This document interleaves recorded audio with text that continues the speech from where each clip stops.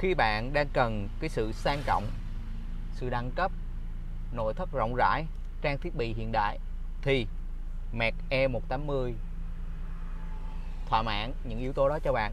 Và đặc biệt, giá cả cực kỳ hợp lý.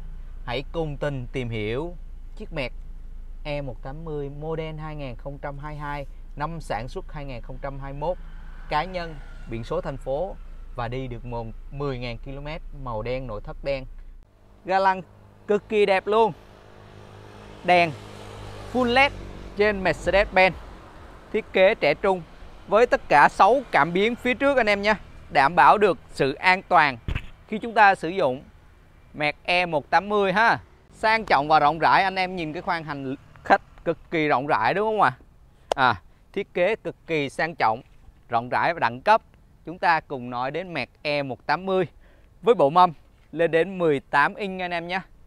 Mời anh em nhìn toàn cảnh phần hông. Sang trọng không anh em? Cụm đèn cực kỳ đẹp anh em nhé.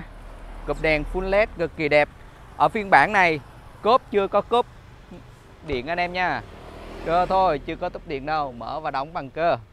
Không gian cốp thì cực kỳ rộng rãi anh em nhé. Cực kỳ rộng rãi luôn. Chưa có bánh sơ cua thì tất nhiên chúng ta sử dụng rốt full flat rồi xe mới đi 10.000 km.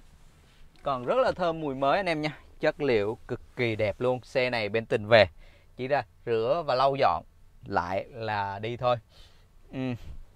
âm thanh thì à, nó là âm thanh thường, không phải loa boom meter anh em nhé. Bên Mac e chưa có loa boom meter không có cửa sổ trời, nhưng mà nó được sự rộng rãi. Rộng rãi. E180 có. Tiết kiệm, tiền cũng có luôn ở đây chúng ta nhìn bảng đồng hồ cực kỳ sang trọng không? Thiết kế cực kỳ hiện đại luôn anh em nhé. Đề bằng nút bấm, cần số, lại chuyển số trên vô lăng. Cực kỳ thể thao luôn. Ở đây chúng ta không có ốp gỗ, nhựa, đen, piano. Cái bảng điều khiển bằng cảm ứng toàn bộ anh em nhé. Đây, chữ danh của nó là hệ thống dàn lạnh. Ừ. ghế thì tất cả là ghế chỉnh điện rồi.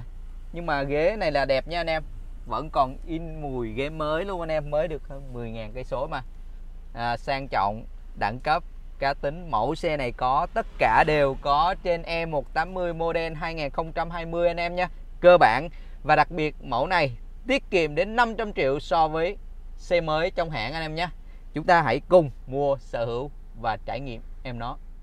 Tiết kiệm hơn 500 triệu xe còn đẹp zin như mới luôn anh em.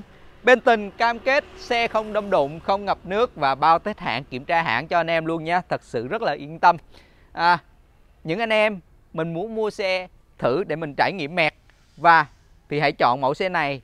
Thứ nhất độ nội thất rộng rãi nè trang thiết bị nó có nè và giá cả hợp lý. Anh em mua sử dụng sau này mình có thể đổi lên mẹt à, E300 hoặc là những dòng xe cao cấp hơn nữa.